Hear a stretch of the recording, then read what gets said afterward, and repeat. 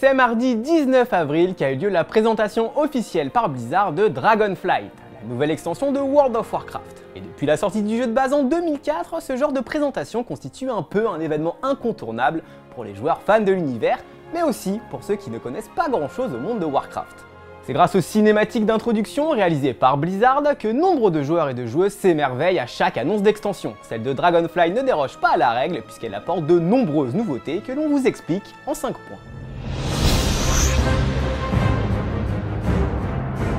Mais voilà, avant de s'attaquer à la présentation de cette nouvelle extension, il serait de bon ton de planter le décor et de revenir sur ce qu'est Warcraft dans sa globalité. Et au début d'histoire, bah Warcraft c'est d'abord un jeu de stratégie en temps réel inspiré de Donjons et Dragons et de Warhammer. Il prend place dans le monde d'Azeroth, un monde fantastique peuplé d'orques, d'humains et rempli de magie et d'énergie élémentaire. En bref, Warcraft c'est de la fantaisie en barre. Ce sont trois épisodes majeurs qui sortent entre 1994 et 2003 et pour bien se rendre compte du succès que ça a eu, il suffit de constater les ventes de l'époque. Warcraft 3, le dernier jeu de la trilogie, c'est à son époque le jeu PC le plus vendu de tous les temps. Un triomphe colossal que Blizzard doit sans doute à deux forces de la licence, la densité du lore et la qualité de l'écriture. Mais Blizzard ne se repose pas sur ses lauriers et veut aussi exporter ce monde fantastique d'une nouvelle manière. Avec World of Warcraft en 2004, Blizzard s'attaque donc au MMORPG, jeu de rôle massivement multijoueur. Alors pour les néophytes, les MMORPG ce sont des jeux où un grand nombre de joueurs peuvent se connecter en même temps et où ils peuvent interagir entre eux. Chaque joueur y est représenté par un avatar qu'il a conçu au préalable et peut décider de sa propre aventure avec son personnage, toujours dans les limites fixées par le jeu. Dans le cadre de World of Warcraft, chaque joueur choisit une race de départ, entre celles proposées comme les humains ou les morts-vivants, puis il choisit une classe qui va définir sa manière de jouer.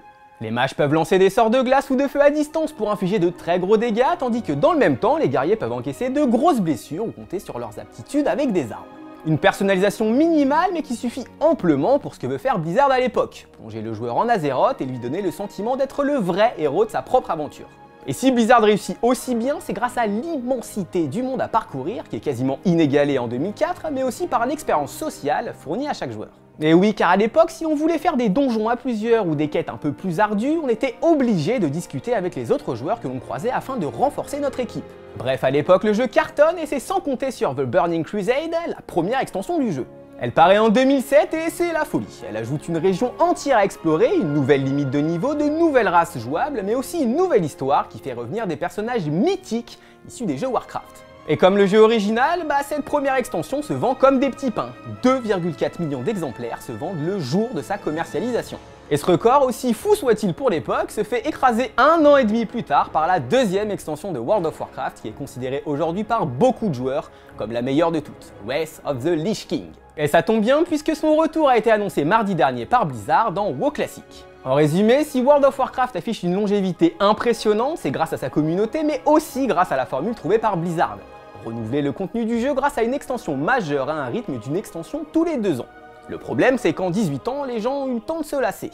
Un ennui partagé par les joueurs depuis Shadowlands, l'extension la plus récente à ce jour. Et pourtant, bah, les chiffres disent le contraire. À sa sortie le 24 novembre dernier, elle s'est écoulée à 3,7 millions d'exemplaires. Encore une fois, c'est un record de vente pour un jeu PC le jour de sa sortie, même s'il sera rapidement dépassé par Cyberpunk 2077 deux semaines plus tard. Malgré tout, force est de constater que pour le début d'une extension, l'engouement des joueurs est toujours présent et devrait se perpétuer pour Dragonflight, l'extension annoncée par Blizzard ce mardi 19 avril. On va sans doute passer pour les avocats du diable, mais la bande-annonce de présentation est assez enthousiasmante, même s'il faut reconnaître que le grand méchant, qui est très souvent mis en scène dans ces cinématiques d'introduction, bah il manque un peu à l'appel pour Dragonflight. Et c'est finalement l'un des reproches principaux que l'on peut faire à cette bande-annonce. Elle est difficile d'accès. À moins d'avoir lu les livres ou à minima de s'être plongé en détail dans l'univers de Warcraft, il est compliqué de saisir toutes les subtilités de cette cinématique d'introduction. Les extensions précédentes par exemple, comme Lich King ou Battle for Azeroth, affichaient au moins des méchants reconnaissables, déjà aperçus auparavant et qui permettaient aux joueurs de se dire « Ah mais je le connais lui, c'est un gros fouteur de ce bull !»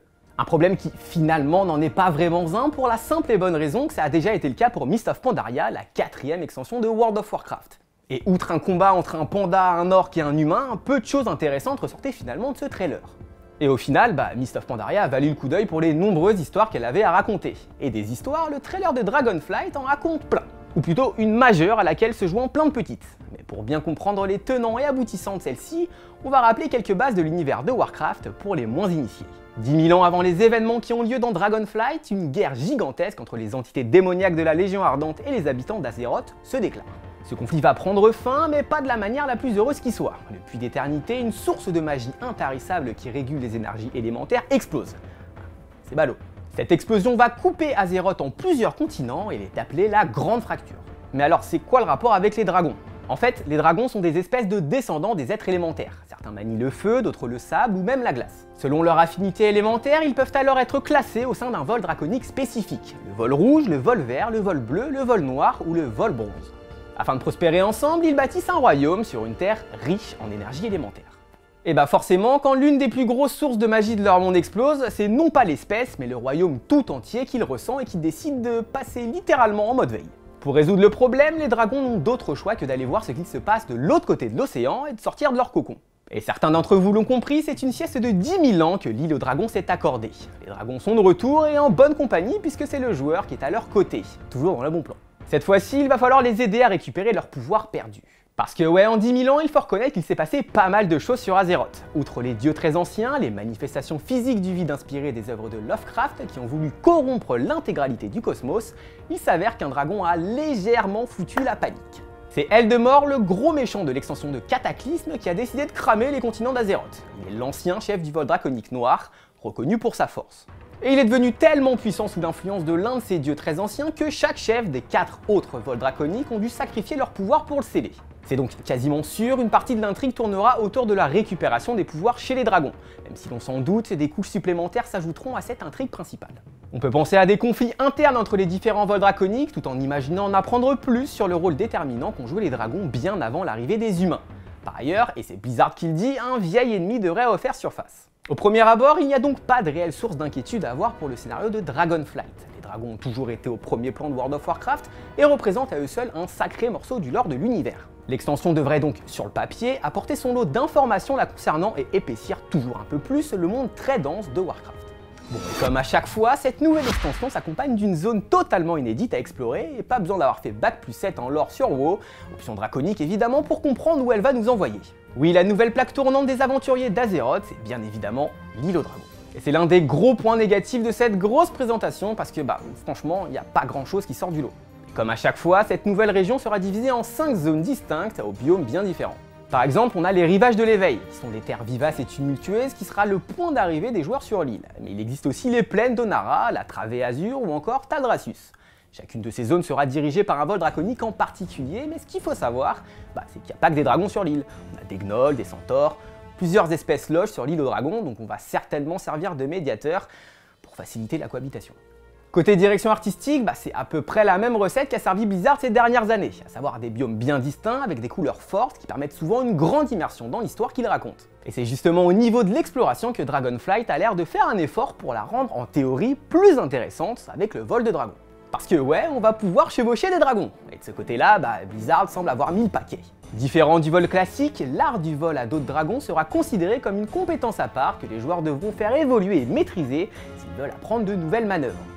Une fonctionnalité pas folle au premier abord, mais qui peut révéler son lot de surprises. Elle permet d'espérer un monde plus grand que ses prédécesseurs, tout en symbolisant la promesse d'une exploration rafraîchissante. Alors oui, c'est bien beau d'avoir un nouveau cadre scénaristique, une belle région inédite comme décor et des dragons qui volent dans tous les sens, mais si c'est pour proposer un gameplay identique aux précédentes extensions, bah, beaucoup de joueurs risquent de râler. Mais on dirait presque que Blizzard a pensé à tout, puisque pour la première fois depuis 6 ans, World of Warcraft va recevoir une 13e classe jouable qui sera appelée les Évocateurs. Ce qui est important à souligner ici, c'est que cette classe constitue une grande première dans le jeu World of Warcraft, puisque c'est la première à être directement liée à sa race et inversement. En d'autres termes, les joueurs souhaitant jouer évocateur devront obligatoirement créer un Draktyr, une race de dragons ayant grandi sur l'île. Et comme on s'en doute, ils apportent avec eux des éléments narratifs supplémentaires, mais aussi une mécanique de gameplay qui leur est propre, avec des techniques renforcées. En maintenant enfoncer les boutons qui leur sont liés, certaines capacités draconiques peuvent être renforcées et bénéficient alors de dégâts et d'effets supplémentaires. Bon, force est de reconnaître que là tout de suite c'est pas super emballant et ce n'est pas sûr qu'appuyer sur mon bouton 3 secondes de plus, bah immerge plus dans ma classe de dragon. Autre point négatif concernant la classe, ce sont d'ailleurs ses spécialisations. Les évocateurs Draktyr peuvent choisir de soigner via l'arbre préservation, mais comme ce sont des dragons qui crachent du feu, ils font aussi des dégâts. C'est avec la spécialisation dévastation d'ailleurs dont le nom est strictement identique à l'une des spécialisations de la classe chasseur des démons. Bon, ça fait quand même un peu tâche, d'autant que le chasseur de démons est sorti il y a 6 ans. Le gameplay mis de côté, Blizzard a d'ailleurs indiqué qu'une personnalisation très poussée de ces draconides sera disponible. Parce que oui, étant donné qu'ils peuvent alterner entre leur forme de dragon et leur forme humanoïde, bah, de nombreuses options de personnalisation et de couleurs feront leur apparition. Et puisqu'on parle de personnalisation, ça tombe bien puisque ça nous permet de faire directement la transition vers ce cinquième et dernier point consacré aux différents ajustements promis par Blizzard sur Dragonflight concernant le nouvel arbre de talent et la customisation de l'interface. Alors très sincèrement, ces deux aspects peuvent vraiment paraître mineurs au vu de tout ce qui a été annoncé mardi 19 avril, mais ne sont pas à sous-estimer. Et on va d'ailleurs tout de suite commencer avec la refonte de l'arbre de talent. Comme déjà évoqué dans cette vidéo, le joueur définit son style de jeu d'abord avec sa classe comme mage ou guerrier et décide ensuite de se spécialiser. Pour reprendre l'exemple du mage, il dispose de trois spécialisations, la magie du feu, celle de givre et celle des arcanes. Et une fois qu'il en a choisi une, il peut alors investir ses points de talent pour améliorer l'essor de cette spécialisation. Ce qu'il faut savoir, c'est que l'arbre de talent est présent depuis les débuts de World of Warcraft, soit depuis 2004. Sauf qu'il a fait l'objet de deux modifications majeures, dont une énorme simplification en 2012. Avec Dragonflight, cet arbre de talent est repensé pour offrir plus d'options de personnalisation, puisqu'il n'y aura pas un, mais bien deux arbres de talent. Concrètement, le premier concerne les spécialisations de classes comme mage-feu, mage-givre, mage-arcane, ou guerrier protection, ou fureur et compagnie. Tandis que la deuxième propose des options utilitaires plus générales, mais qui respectent l'identité de la classe choisie par le joueur. Et franchement, c'est assez engageant sur le papier pour se réapproprier son personnage et être plus en accord avec ce que l'on veut jouer. Et on va terminer ce cinquième point avec ce qui est l'une des plus grosses surprises de cette présentation de Dragonflight et qui se révèle être la refonte de l'interface. Parce que ouais, c'est assez surprenant parce que depuis le début de World of Warcraft, elle n'a jamais été modifiée. Alors attention, on dit pas que c'est pas bien, mais juste que bon, attendre 18 ans pour publier une nouvelle édition de l'interface, c'est pas vraiment le meilleur move de Blizzard. Mais bon, inutile de revenir sur le passé parce qu'elle est enfin prévue au programme, cette interface. Et honnêtement, ça devrait être un soulagement pour joueurs aguerris et néophytes, puisqu'un bouton d'édition fera son apparition.